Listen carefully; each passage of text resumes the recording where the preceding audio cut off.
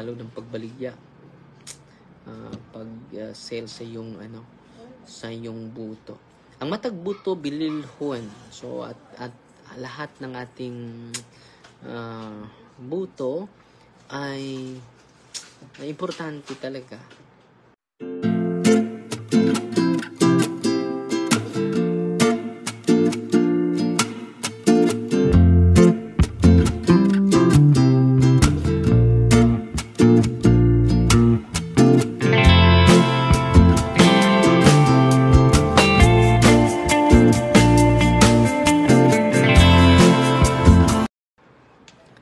Magandang gabi po. At kumusta po kayo? May ano tayo? I i Oh.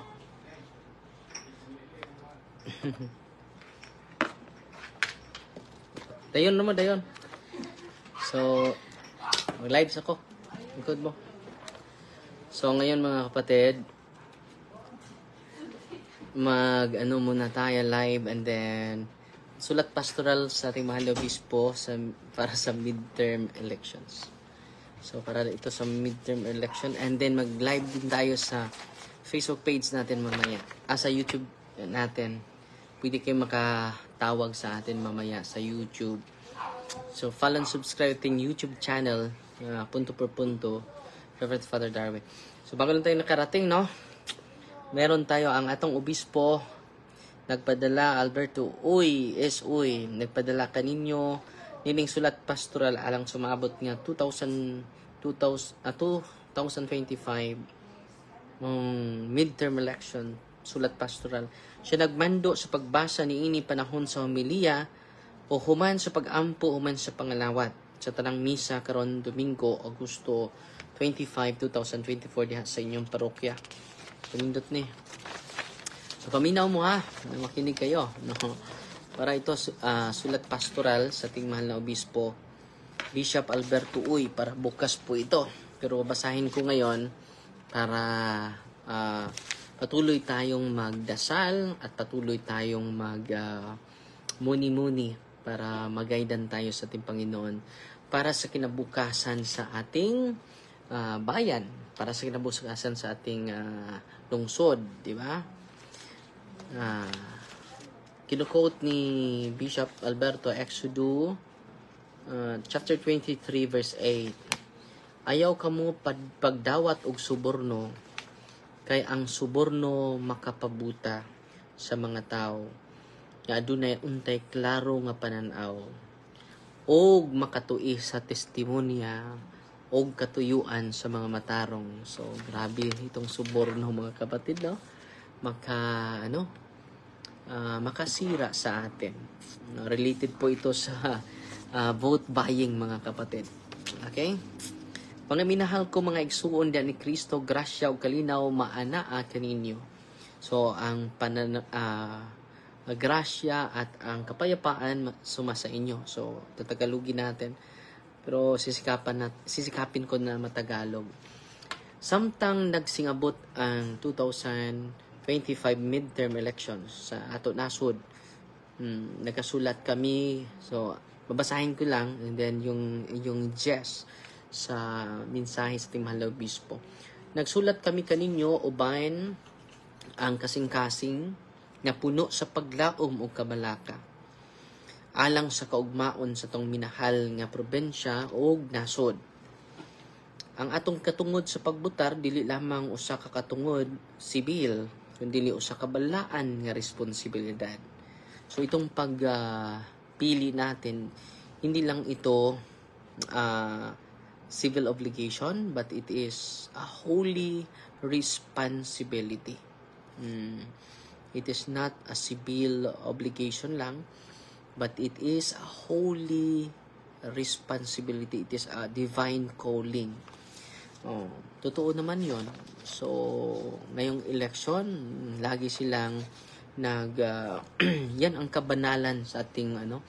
So sila ay mabisi na sa pag uh, pagpangampanya sa ating lahat. Dahil ang tunay na hari ay ang bayan ng Diyos, no, ang simbahan, no.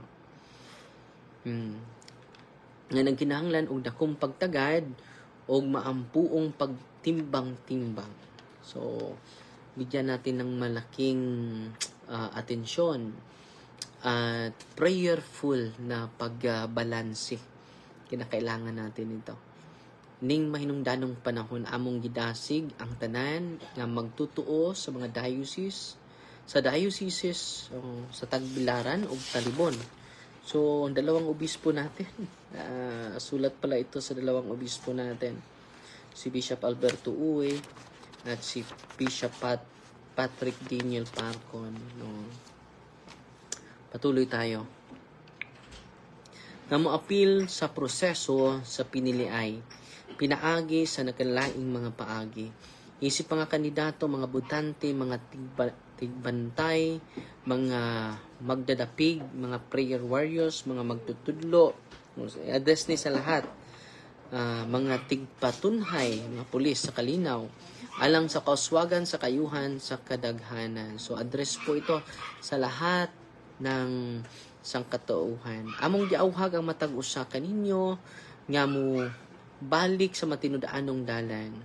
Pinaagi sa pagbiya sa mga daotang binuhatan nga nakahugaw sa tong sistema sa pinili, piniliay. Ilabi na ang mangilad, no? nga pagpamalit o pagbaligya og buto. So it, it is um, yeah, it, it is immoral, no? Mangilad. Hindi ah, ano to mangilad, no?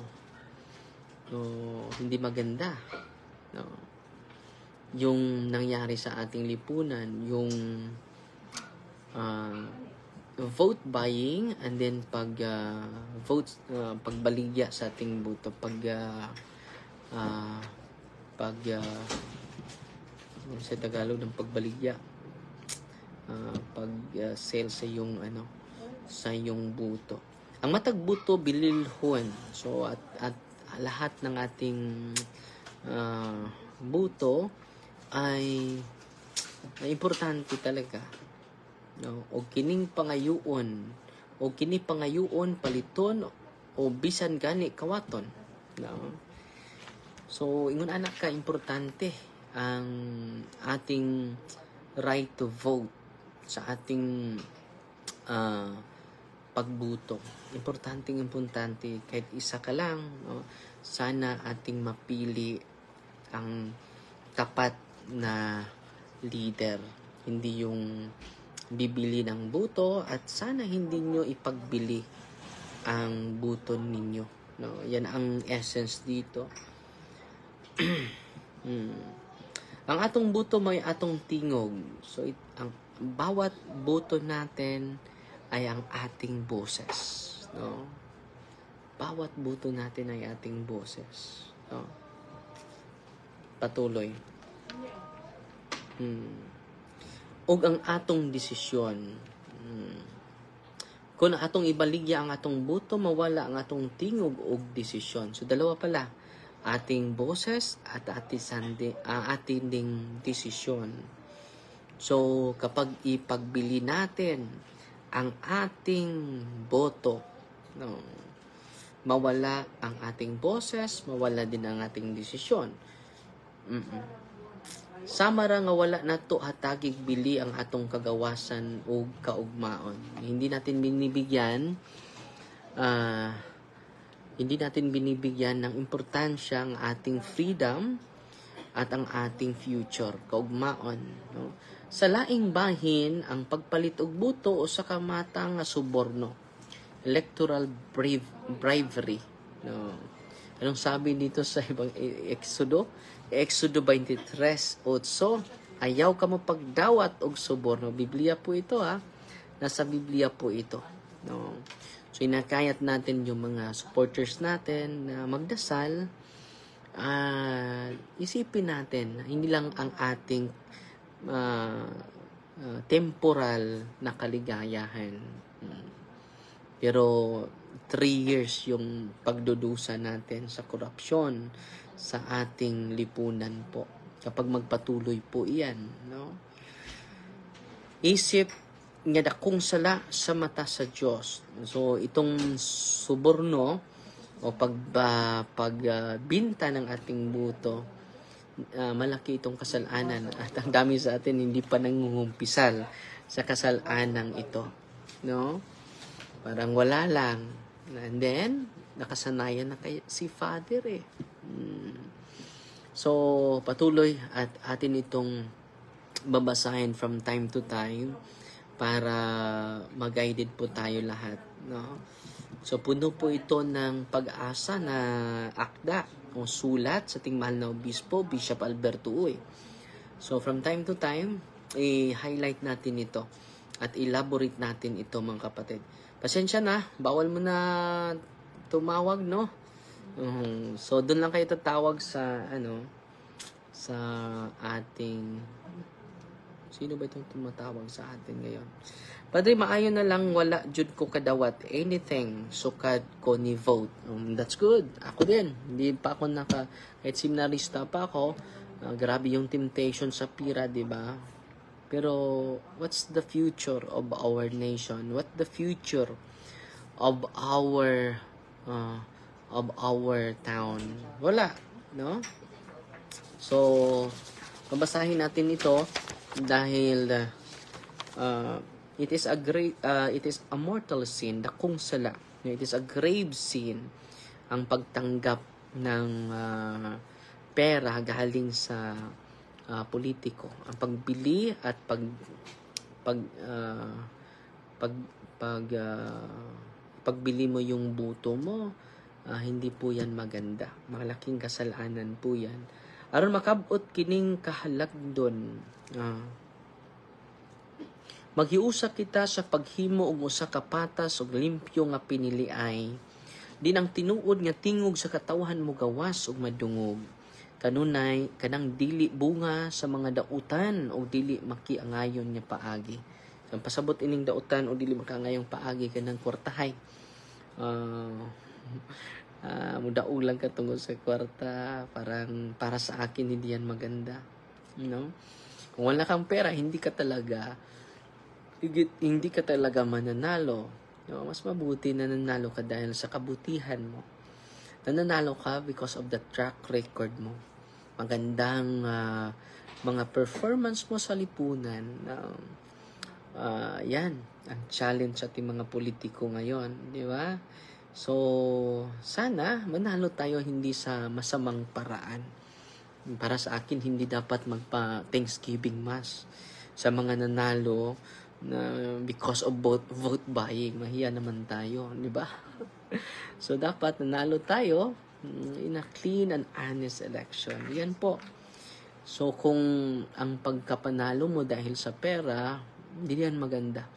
Hindi natutuwa. Siguro natutuwa ka, pero hindi natutuwa ang Diyos dyan. 100%. No? Hindi natutuwa ang Diyos. Malinaw na malinaw po yan sa Exodus chapter 23 verse 8 na huwag kayong tumanggap ng suborno. Dahil makapa ano ito makapabuta sa mga taong aduna untay klaro nga pananaw. So unang-una maganda yung plano mo pero dahil sa pera nawasak lahat. No, ang manggandang plano mo para sa uh, sa ating community, sa ating lipunan, di ba? Hmm. Aron makabot kining halangdong tumong, among giawhag ang tanang mga pangulo sa simbahan o sa gobyerno, mga leader sa NGOs, mga magtutudlo sa eskwelahan, mga influencers, sa mainstream o social media. So ito, ginagamit natin.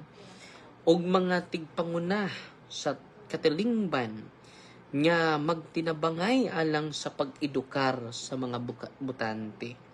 Paningkamutan nato nga paglikunon ang matag usa pinaagi sa kahibalo, kaalam o maampuong pagbanabana aron kita makahimo og husto nga pagpili og mga pangulo. So, two pages po ito. Sa sunod na araw din, ipatuloy natin. Sa unang punto, address po ito sa Diocese of Tagbilaran and Diocese of Talibon. Unang punto sa ating mahal na obispo, ah, ang atong pagbutar dili lamang usa ka katungdan ng civil. It is not only a civil obligation but it is a holy responsibility. It is a divine calling mga kapatid. Kaya nga, kahit nandito ako sa Valencia, uuwi talaga ako dun sa Kugon para lang maka maka vote, makabuto. Mm, yan ang sakripisyo ko at hindi ko gusto at isi-share ko din ito na sa aking pamilya. Mm, ah, mag-gather din ako, i-share ko ito unang-una sa pamilya ko at kayo din, pamilya ko na dito sa Facebook page natin. At mga 7.15 po, ah, mag, mag ano tayo, mag-live tayo sa ating punto per punto. Okay?